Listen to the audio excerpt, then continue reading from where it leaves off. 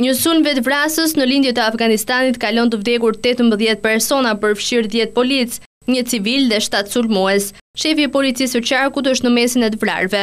Sulmi ka pasur në shënjestër një stacion policor në qytetin Xhalalabad. Zëvendës kryeministri i Brendshëm, Muhamed Aub Solanji, ka thënë se sulmi ka përfshirë një shpërthim vetëvrasës dhe dy bomba të telekomanduara. Talebanët kanë marrë përgjegjësinë.